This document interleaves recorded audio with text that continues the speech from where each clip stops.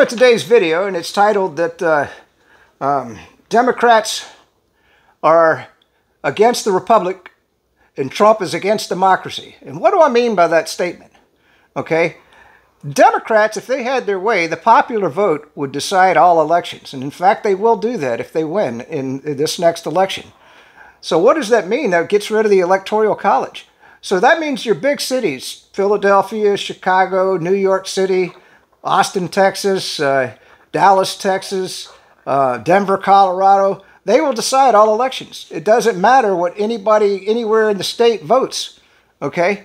And also the Democrats will pack the Supreme Court. So that's why I say that uh, Trump is against democracy. He wants to preserve the republic, all right? The republic has an electoral college for a reason. It's to give the smaller states a more equal voice and representation in the Congress so that there's just not mob rule. I mean, look at the Democrats. We're going to get into that in a minute. But I want to get to the breaking news. I just had to get that out of the way first. And I'll just tell you about the breaking news was the, the, the first thing was a huge, a huge explosion in, uh, in Lebanon. Uh, Israel hit them with one of their biggest bombs ever, and they are doing a massive flight campaign into, uh, into Lebanon right now. And uh, let's just watch that video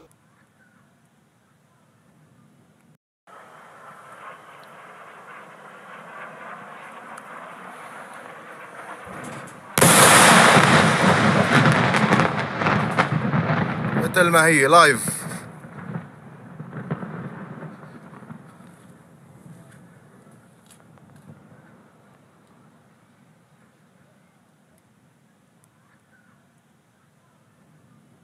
So it looks like the regional war has begun. I, I do believe that uh, uh, Israel's getting ready or prepping to get in there and, uh, and hit them hard. So we're going to get into uh, a couple of posts that I wanted to read to you. Let's uh, before I get there, let's also hit on another uh, the other war, Ukraine, real quick. Uh, this is a video of a huge ammo dump, another second ammo dump. How the hell are they hitting all these ammo dumps? From what I understand, they're hitting them when they're pulling the, the weapons out from these bunkers. I, I think if you just hit the bunker, it's not going to do anything because they're supposed to be almost nuclear bomb proof.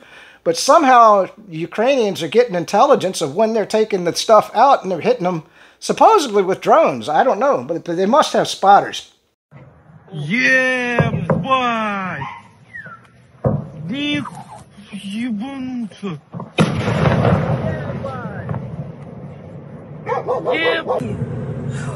Даша, смотри. На дорогу, Даша. Смотри на Да я вижу дорогу. Даша, смотри на Офигеть. дорогу. Нормально все у нас? Да, живы, здоровы, все. Газуй. Уезжай. Окна целые у нас? Да, целые. Уезжай. Это, это уже снаряды, это сейчас все пойдет. We're going to get on to just a, another quick piece of news before I get into the theme of the video. Uh, this is uh, Mario Nawfal and uh, GM to lay off 1,700 workers at the Kansas plant. General Motors is set to begin laying off 1,695 workers at its Fairfax assembly plant in Kansas. The layoffs will occur in two rounds, uh, starting on November 18th, impacting both full-time and temporary employees. Production pauses for the Cadillac XT4 in January 2025 will further affect the plant, with operations expected to begin in late 2025. So this was a sprinter. I wanted to read this to you. Uh, and this is more on the Israeli thing. I know I'm kind of bouncing around here, but I don't put these bookmarks in order, and for me to just search back and forth takes too long. Israel expecting a response from Hezbollah. Emergency measures have been introduced in the north of the country.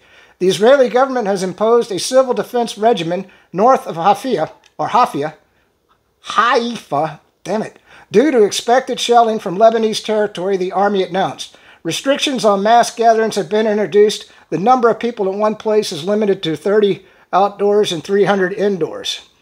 And, uh, and from that point on, let's just get into the video. Uh, I do have a HIMARS strike. We'll throw that in here at the beginning. Let's watch this HIMARS strike. All right, so now we get to the meat of the video, and I'm going to have fun with this because I've been wanting. Boy, I tell you, I was just I got up and I was like, man, I feel bad. I've, I've had a rough couple of days. I was supposed to be out hiking, and I was going to make a hiking video because I like those a lot better. But man, I am I'm hurting, man. and uh, there's just nothing else to do. And poor dog, he's he's been locked in the house for two days. He needs a hike, don't you, Boo? He needs a hike, man. All right, so let's get into Christian Meg. I'm going to make her famous because I somehow she got put in my feed, and I thought, man, I gotta I gotta reply to this, and then I thought, no, I'm to make a whole video about this woman. so let's just start reading what she had to say. Most of the people I know and love are voting for Kamala Harris. I don't think they're stupid or selfish or deplorable. I do. I do. You don't, don't you think they're stupid? We're going to get into that more. and they're selfish and deplorable. Any Democrat is. They're all kind, caring, intelligent, lovely people. I just think they're wrong, and I think they've been misled. You think? yes, uh, Christian, they've been misled. Uh, I, I, let, me, let me explain all this to you. We're going to get into the three types of Democrats one more time. So the most common are the vacuous meat puppet Democrats. All right, so this is the first type of Democrat. And how am I going to prove this? We're going to we're going to throw up a few videos and we're just going to talk about a few things about what a vacuous meat puppet Democrat is. So let's uh, let's first. I'm I'm gonna hit you. I'm, I know. I apologize, man. I have to watch all these. I can't stand watching Kamala. I mean, it just grates. I mean, it's like somebody taking their fingernails and going down a chalkboard, man. And uh, but anyway, I got two brief videos. The first one, she says, "Bro," uh, and you know, and she's talking to these people. It's very short. I'm not going to torture you too much, but the point of the post was she grew up in Canada, man. she don't have no bros. She's from a freaking elite family. I, I, I bet she doesn't even know anybody that's been in the hood, you know. Or she might know some rich hood uh, rappers or something. I don't know. But uh, anyway, that's the first video, and uh, let's watch that and the second video. Brother, we are not going back. We are not going back. We are not going back. We will not go back. We also need to lower the cost of living because while our economy is doing well by many measures, prices for everyday necessities like groceries are still too high. You know it and I know it. All right, so in the second video, she was lying, man. That's a flat up straight lie. You know, the go to the damn. I mean, if you're a damn meat puppet Democrat, I guess you haven't noticed your prices have gone up and then inflation is here. And oh, and the economy's doing great. Oh yeah, yeah, most definitely. Everybody's got jobs. Uh, anyway, so yep, yep.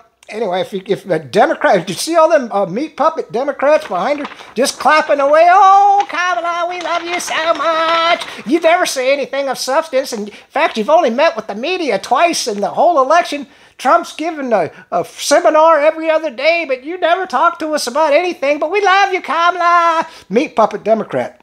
so uh, Democrats don't question how their elite leaders have million dollar mansions all over. Let's look at Barack Obama. He's living at uh, uh, Martha's Vineyard. What a $50 million home just to maintain it alone. He's got servants and everything else. You know that he just, he was a low level senator uh, who, who got promoted by the elite to become president, never worked a job a day in his life. Uh, I think he just worked in Chicago as a, a volunteer uh, I don't remember what it was. Something. So, so where did he get 150, 200 million dollars? He's never. He's not like Trump. He didn't build no damn buildings or anything. But the Democrats are just meat puppets. They go, well, he deserved that money. I'm sure that he did a little bit of grifting. You know, it's okay. Look at Nancy Pelosi with all her insider trading. She lives in a freaking mansion in San Francisco when she's not tromping around. Do you think she lives in a bad place in Washington, D.C.? What's her salary? I mean, what the the president's salary is like one hundred fifty thousand a year. It used to be. I don't remember what it is now. I'm sure it's gone up. But she's she's a senator. She's got you know millions of, of what is it in the hundreds of millions of dollars. Oh, but the Democrats, oh, it's okay. She's just an old lady. She's Nancy Pelosi. It's okay that she just grifts and grifts and grifts. Look at Gavin Newsom. Gavin Newsom shut down the whole freaking state, including the grape vineyards. Gavin Newsom has his own grape vineyard. Guess whose grape vineyard was open during the uh, the uh, cerveza virus, right? When the jab and everybody was getting a jab, and he made everybody get the jab, except him. I bet he didn't even get it. But the Democrats, oh, he's Gavin Newsom. He's got nice hair. He's got nice hair. That's why I like Gavin Newsom.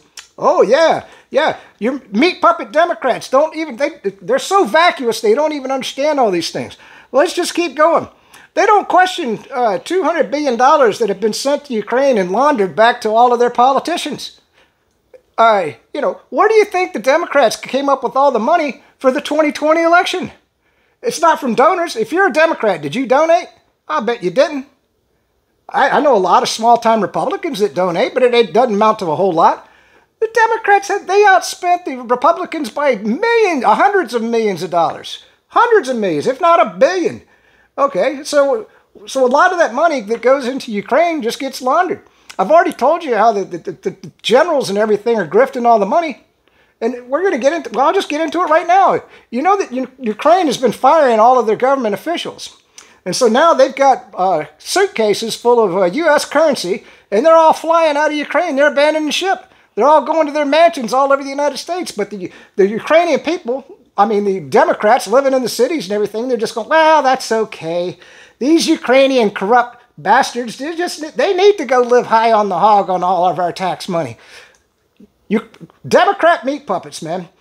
They don't question that the FTX uh, scandal, where Sam Bankman-Fried uh, and how his company funneled $40 million to the Democrat campaign through Ukraine, a lot of it through Ukraine. And then he, he stole billions upon billions of dollars. I don't even think the guy's in, in jail right now. I mean, he, he grifted, I mean, he uh, defrauded millions of people. And Democrats are well, you know, I wasn't invested in that crypto stuff, so good for him. I'm so glad he stole from all. They were probably all Republicans anyway. You know, it's it's good that these people can steal from all of these people that invest in crypto because I don't have the money to invest in crypto. Yeah, okay, meat puppet, meat puppet.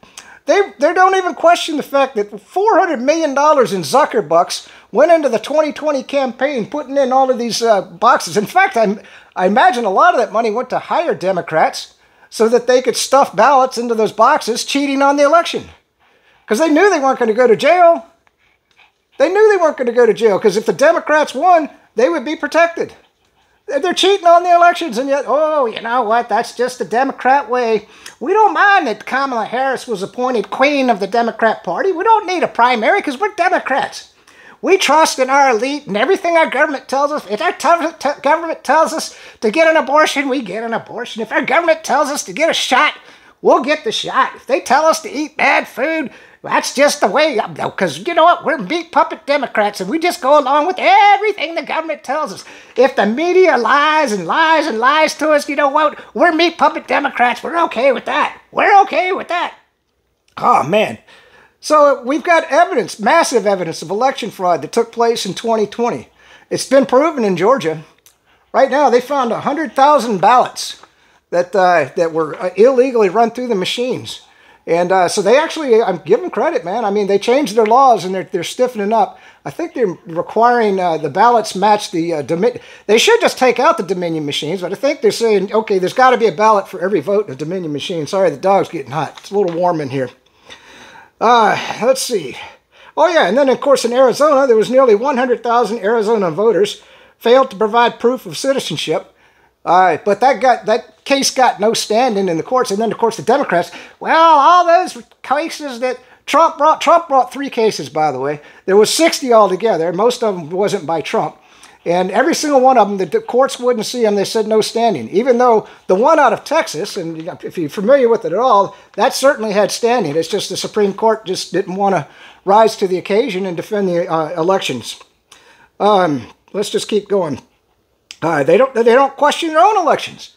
So their cities are crumbling. Illegal immigrants are taking all the jobs. They're taking over black housing. Uh, the illegal immigrants are being paid by the uh, Democrats, whereas the, the blacks that used to be on welfare are on the streets now. They're homeless. They got fentanyl zombies walking on the streets. But you know what? We're a meat puppet Democrat. It's okay if they all cheat on the election you know, we don't really need to vote anyway. We, we just we just want the, the Democrat Party to take care of us. And it, even though they're not taking care of us right now, we're we're sure that someday in the future they're going to take care of us once all these illegal immigrants have, have been settled in properly. Yeah, yeah. Keep keep keep smoking your weed, Democrats. No, taking your coke. No, take your fentanyl. I, you know, since it's killing 100,000, 200,000 people, you got zombies walking around in your streets, but you're okay with that because you're a meat puppet Democrat. Uh, they don't question $35 trillion in government debt. And they have no, they're like, well, you know, the government, it's just the way of things. They can continue to print, print, print currency, and uh, it's never going to affect me. You know, we're still going to get our welfare, but, you know, and there's no inflation. We're not seeing the prices going up. You know, you saw Kamala Harris in the beginning. Oh, yeah, the economy's doing great. But they, they don't understand that. So I, I ask a Democrat, ask a meat puppet Democrat, are your streets or highways now paved uh, and in good shape. No, especially not in a Democrat state. Now here in Florida, we do pretty good. The streets, in fact, we've got a big road project on I I seventy five that's going to be taking place here soon. Uh, I think I better put him down. it is hot in here. I'm sweating. I should have turned the air conditioning on before I got started, but I, I like it warm during the day when I'm just lounging around. But when I'm reading this, it gets a little, little hot. So, uh, where did all the uh, 19, uh, well, yeah, paved with gold. Where did the extra 19 trillion go? How many new hospitals did they build in your community? Uh, Democrats, you meat puppet fools. Uh, how many uh, schools? How are your schools doing? You know, when your kids come out and they can't read or write, they don't even know how to do math, and you've got these teachers' unions where they, they go on strike uh, during the whole year and your kids can't go to school, you know, but you know what? Our kids don't really need an education. They'll get by because the Democrats, they'll take care of them. They'll stick them on welfare. They'll give them a, a minimum uh, government salary.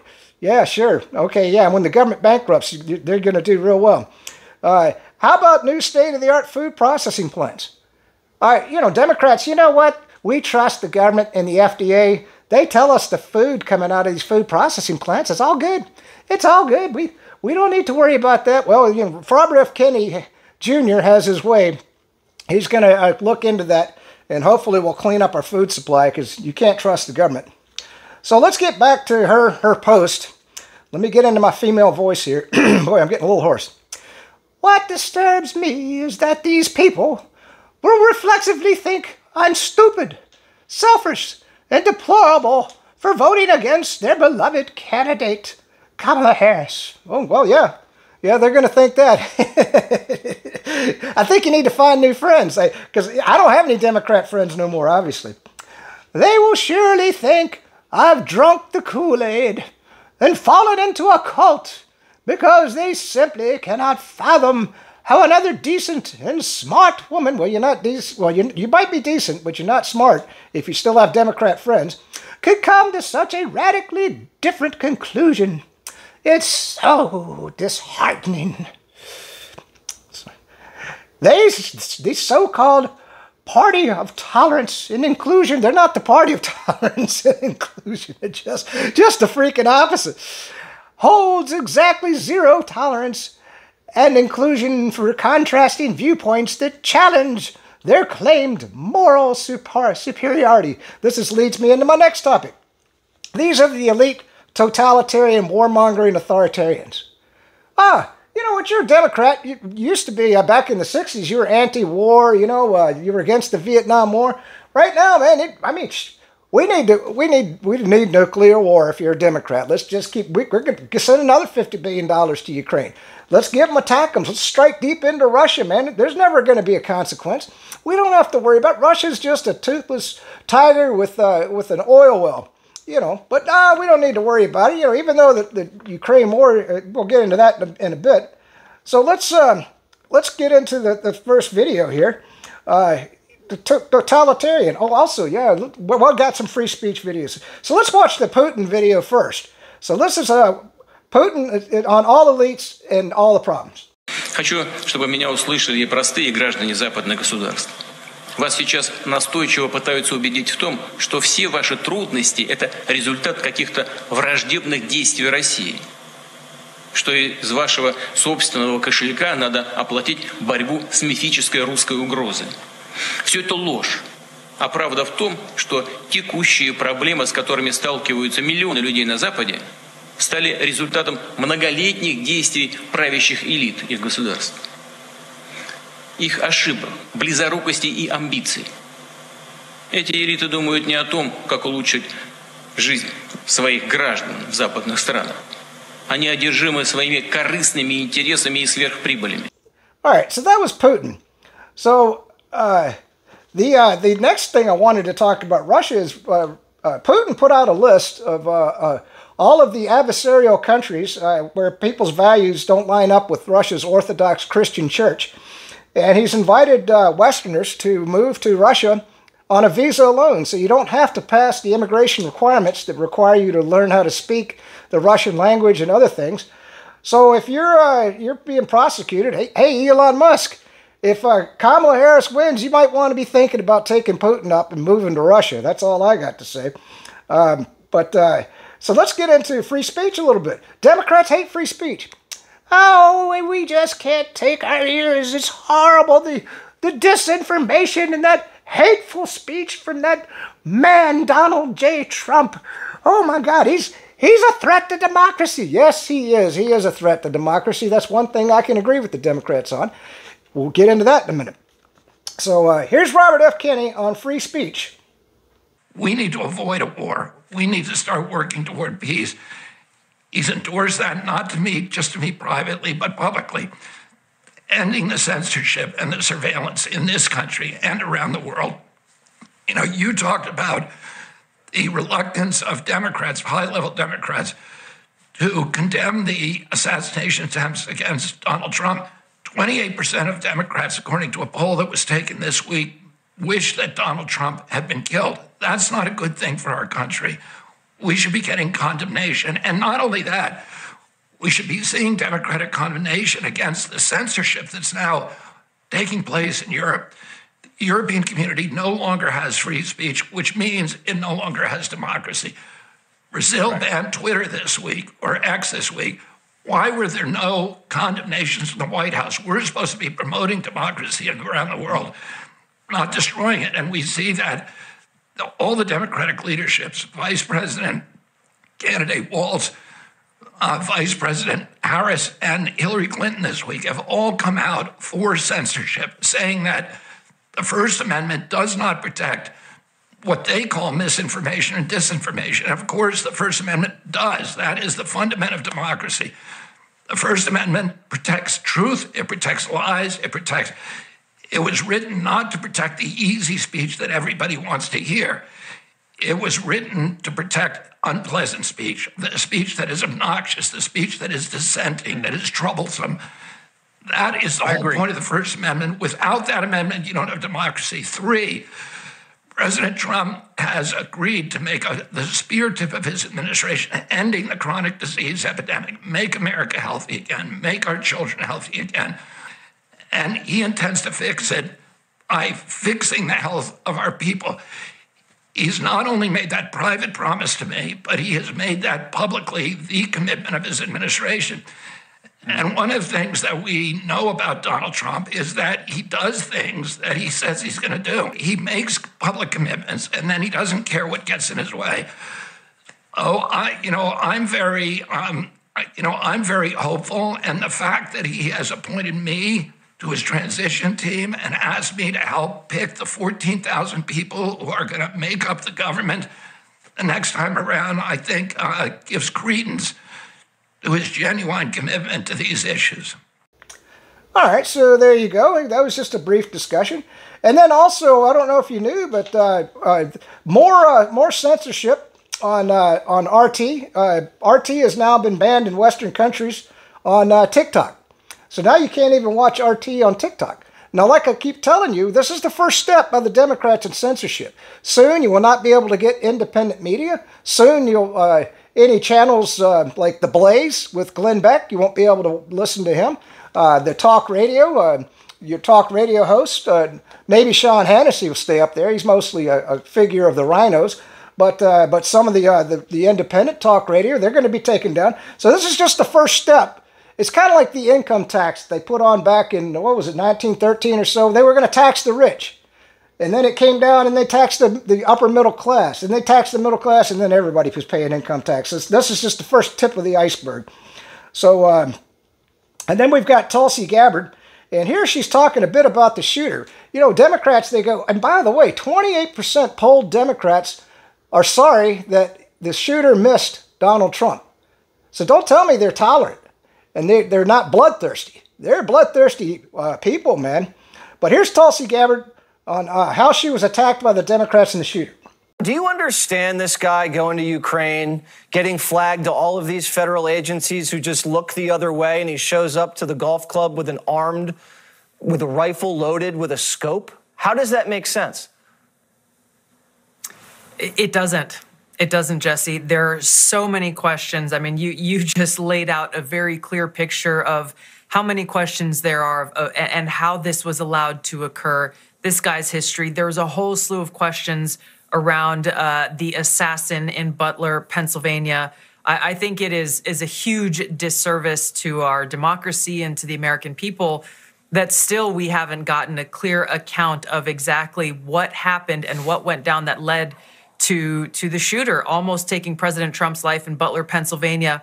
And as you've pointed out, it looks like they're they are slow rolling and trying to uh, to hide the truth from the American people uh, on this one. You know, Pre- President Trump's resilience and focus in the face of this unprecedented two attempts on his life, where he has narrowly escaped both of them, I think gives him great credit and and quite frankly, it, it points to the kind of unflappable president and commander in chief uh, we should all want. I, I just remember in the war on terror when you'd have a guy go to Yemen, go to some terror hotbed, and then fly back into the country, into this country. He'd be on a watch list. He'd be flagged. You, you, know, you don't just go to these places and then come back and you know all of a sudden like, okay, this guy's been in Ukraine hanging with mobsters in the Ukrainian military, gun runners, recruiting Muslims to fight. Th- this guy doesn't show up on anybody's radar. Oh, actually, he did, but no one said anything. How suspicious is that? Jesse, they put me on a secret domestic terror watch list. How is this guy not put on a secret domestic terror watch list? You know, I, I, I serve in our military. I was a member of Congress for eight years. I was a candidate running for president. Uh, and yet, the Harris Biden administration decided to put me on a secret domestic terror watch list while this guy is able to apparently travel freely without federal air marshals being assigned to surveil him uh, and his every move. And, and that's really what cuts to the seriousness of what we are facing. I hope we get answers to all of these questions. But the reality is that my former party and the mainstream media have spent years demonizing President Trump. I met with him for the first time in 2016. I was a member of Congress on the Foreign Affairs and Armed Services committees. Two weeks after he was elected, he hadn't even been sworn in. I was invited to speak to him about uh, a new direction of foreign policy, trying to block the neocons who were jockeying for position at that time. Jesse, as soon as I walked out of Trump Tower in New York City, my phone blew up with outrage and being excoriated by fellow Democrats at that time and here was their foremost complaint How dare you meet with Donald Trump and humanize him? Mm. They have been dehumanizing him for years, turning him into this evil Hitler like caricature. So we should not be surprised to see their supporters take that seriously and take it upon themselves to try to take him out. That's right. how serious this is. Tulsi on a watch list but this guy with weapons of mass destruction charges, hanging out with Eastern European gun dealers, not on a watch list at all. Makes total sense in the Biden Harris administration. All right, so that was just a brief video. Uh, so let's keep going on down. So uh, none of us can see around coders. A voter, voter was never meant to be seen as a moral absolute uh, projection uh, for their th sins. So um, the th third type of Democrat is the, the satanic pedophile um, sexual attraction to uh, pubescent children. Okay, satanic, excuse me. So a lot of uh, Democrats, uh, I would I would include uh, Bill Clinton in this category. I include Hillary Clinton. I, there's a lot of speculation. They were on Epstein's list, and uh, we know what went on on Epstein's island before he was killed by the Democrats in jail. Now we got P. Diddy, and they're saying that the Obamas uh, went to P. Diddy's, uh, uh, his, what do they call them? Uh, crazy parties? I, don't remember the exact name. Uh, he called them something. Uh, so there's been a lot of Democrats that attend all of these pedophile events. And I know that a lot of Democrats, for sure, participate in satanic rituals. So that's your third type of Democrat. Now, could I approve any of that? No, because the FBI and the Justice Department are not prosecuting any pedophiles. The Democrats, and that ought to tell you right there that the, the Democrat Party is the satanic party. If you're for pedophilia, you are not a normal person, man. There's got to be some satanic uh, blood in your in your veins. I'm just saying, you know, we got hundred thousand kids that have disappeared into into child brothels. The child are being these children are being raped so much that they're dying, and the Democrats love it, man, because they're pedophiles. All right, sure. Uh, I'm not sure who said this. Fo- oh, this is her again.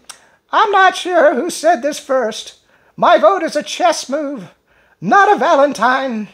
It's a strategic play based on all the evidence I've seen. I'm voting to defend free speech, to protect women's sports, to control the borders, to correct inflation, and to prevent inhumane and coercive mandates from ever being imposed on free Americans again. I'm voting for Trump. Well, I agree with all of that. So, Christian Mag, welcome to the MAGA movement. There you go. All right, let's keep going. So, this is Russell Brand and Douglas Macgregor. And they were talking about, you know, I, I, just wanted to put this in here because everybody's forgotten about Julian Assange and how he brought out the war, war crimes under the Bush administration. And it's also a bit about more on free speech. Let's watch that video. Who is it that's really putting the American military at risk? Julian Assange or the policies of the neoliberal establishment? But first, perhaps if you could start with whether or not WikiLeaks ever put American service personnel at risk. Yeah, I know. I listened to that too, uh, Russell, and I was never convinced that there was any danger involved in most of the information that was released. But the biggest problem for Julian Assange was that he embarrassed people in power, mm. revealed all sorts of things that we now know to be true that no one wanted released to the public. That's his biggest problem. And as far as danger is concerned, there's more danger of being vaccinated with the wrong vaccine than there is uh, from anything that Assange ever released. Yes, I, I have the same sense. So Julian Assange I, was really always a political prisoner held without trial, uh, uh humiliated, tortured, um, and now his release suggests what a kind of mea culpa, a change in attitudes, a return to free speech, a new obligations among the press to report openly and honestly, even if their reporting places the establishment in an embarrassing position you know, how many R's are there in fat chance? no, I don't think uh, any of that is uh, in the offing, unfortunately, although we strongly believe that free speech is the antidote to tyranny. And for that reason, we have always supported uh, Julian Assange, and we're very glad that he's out. God bless him. I'm, I'm glad he survived. And I hope that he will continue to speak the truth the truth is is what will ultimately save us if we can get it out to people and people have to want it that's another problem you know every time i talk to audiences they're they're looking for threats you know they're conditioned americans are conditioned to believe that there are threats all over the world and in reality you know there there really aren't the, the biggest threat to america right now i think is incompetence and corruption in washington d.c all right so that was them so I did want to talk just briefly about Ukraine. Um, Ukraine has lost a, a, an entire division in Kursk. Now, if you didn't know a division, it's made up of uh, four, I think it's four battalions. And uh, I, that's damn near 10,000 troops. And from what I understand, there was only between 15 and 21,000 that went in there. They're getting crushed. In fact, they're getting exterminated. Uh, so anyway, that's 21,000 more dead uh, Ukrainians in Kursk. Let's just see what that looks like in Ukraine. Сволочі, Верховна Рада, міністри, скільки ви будете хлопців ложити? Прекращайте, суки, цю війну, хвата вам красти. Падли, щоб ви подохли отам всі. Як можна, скільки ви положили молодих людей? Ідіоти ви. Хіба це можна так терпіти? Люди, що ж ми терпимо? Скільки ця війна буде продовжуватися, гляньте, скільки нас молодих людей положили. Це ужас один. Боже мой, Господи, Царство Небесне, хлопчики, вам хай земля вам буде пухом. За що ви погибли? За що за тих стервотнів? Ой, не можу. All so that was Ukrainian graveyard. Uh, I was going to put that at the finish of the video, but I got one even better. So the uh, uh, the government is slowly uh, disbanding and stealing all the currency. I hope you understand that. Uh, so right now, all the currency that they're printing, uh, all the money being laundered out of Ukraine, all the money going to Israel. It's all going into the elite pockets. They're using it to buy up a lot of the real estate here in the United States. Um, so just letting you know what's going on. I mean, right now silver sits at over thirty-one dollars an ounce, and gold's uh, just crossed the new high at uh, twenty-six hundred. But I'm telling you, the dollar's it's going to be worthless a lot sooner, and the BRICS happens here in October. So, uh, breaking. Hezbollah leader Ish, Isham Akil, A-Q-I-L, was killed after the Israeli airstrike in Beirut, Lebanon. Now, this was a post by Douglas Macgregor, but what he didn't tell you was they to kill this one guy, they took down an entire apartment building. And in that apartment building uh, was uh, they killed 14 people and wounded 66 others just to take out one guy. And you saw how they're bombing the shit out of Lebanon. So don't tell me regional war is not coming to the region. And, and Israel, uh, they're, they're thirsting for another war. It blows my mind. But uh, I did find a great video on RT of all places. Uh, get you a VPN uh, for now until I get my SSH information up to you. Uh, let's watch some of that video. Now, I had to cut and edit this video. I got to always tell you when I edit the video because I wanted to cut out the fluff pieces. You know, when they go on, well, Samantha, what do you think is going to be the next move by Israel. Well, it's looking like they're going to invade. That's all speculation and everything. So I cut all that fluff out for you, and I just try to get the main points of the video. Otherwise, these, these videos get too long. Let's watch that now. An Israeli strike on a residential building in Lebanon's capital. It's killed 14 people, wounded 66, according to local officials who said that some of the casualties were kids. Hezbollah has confirmed the death of its top military commander, Ibrahim Akil, and we have more details now from Beirut with our correspondent. On Friday, Israel carried out a strike targeting Ibrahim Akil, a prominent figure from Hezbollah, a senior member as well. He is a member of the Jihad Council. He's also the head of the operations division. And uh, Hezbollah has essentially come forth and also confirmed the death of this prominent figure within the group. The attack, in and of itself, is, is of course a devastating blow, not just to Hezbollah, but to the people of Lebanon, because looking at some of the aftermath, we realize that the entire residential building was demolished and essentially um, reduced to nothing but rubble. All right, so that was uh, that was it. Oh, I wanted to question the pager bomb in Beirut for a minute, and I wish I could take credit for this, but the Canadian prepper was pointing this out. Now we just had a bomb threat up in New York at the the Trump rally. Uh, I don't remember exactly where it was in uh, in, in uh, up there, and if, if this was supposedly a dog in training, now if that dog could sniff out that explosive in a car uh, when he wasn't even trained properly, how in the world, because the narrative that we're being fed by the media on those pagers is that they, this was a 15 year operation in the works and blah, blah, blah, and you know, they they put the explosives in back in 2022, and they've been waiting to pull off, you know, this thing, killing, you know, 5,000 people in Lebanon or, or wounding 5,000, mostly nurses, doctors, and kids, uh, you know, with a terrorist act. Um, so this is what we're supposed to believe. But okay, the, if these pagers have been around for about two years and they have explosives in them, uh, you know, I've heard C4 and I've heard PETN, which is you know cord. Uh, so either one of those explosives, if you go into an airport with any the, either one of those in your suitcase or on your person, I guarantee you the dogs are going to find it. So you can't tell me that all these people with pagers, thousands upon thousands, for the last two years, never got on an airplane. Not one. And, and, and that pager never got sniffed out. I mean, unless they, they sealed it some kind of way so that the, the smell wouldn't come out. I don't even know how you do that. Maybe, maybe that's what they did. I'm not saying I, I, this is just speculation on my part. All right, but for two years, uh, let's say, and supposedly the pagers might have been around even lo- a lot longer than that. pagers and mobile phones, uh, or walkie-talkies, excuse me. So all the all the time, no dog sniffed it out. No device that scanned those devices picked out the fact that there were explosives in there. I find that hard to believe. And so what the Canadian prepper was speculating, and I kind of I tend to agree with him. Suppose the Israelis came up with a way to uh, to cyber hack these devices so that those lithium batteries explode. Now imagine the potential on that. That means every car is a bomb. every pager is a bomb. Every cell phone is a bomb around the world. If the Israelis can get into it and hack it with their Pegasus uh, uh, cyber destructive software, you know, that means every politician is a target. Every person that, that says uh, anti Semitic things uh, is, is, is, um, is a target. All right? So if they have found a way to explode those lithium batteries, I don't think the governments are going to want that to come out.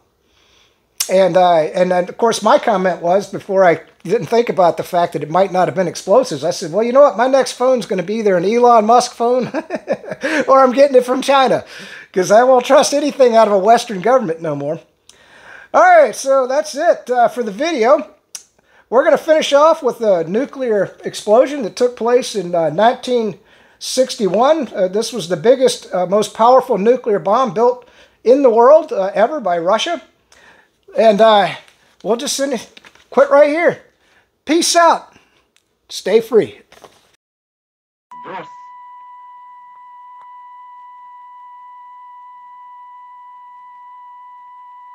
Экипаж одевает защитные очки.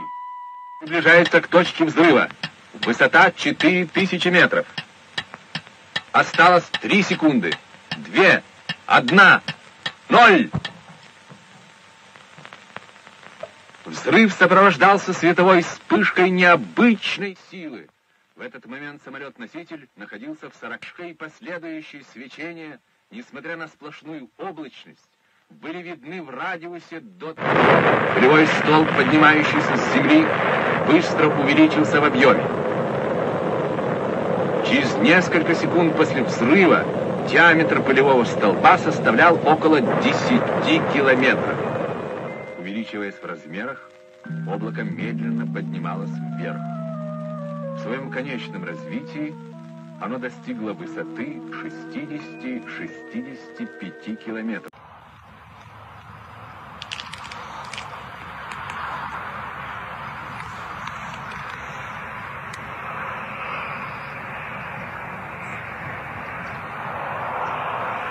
Вот такая ситуация. Вот.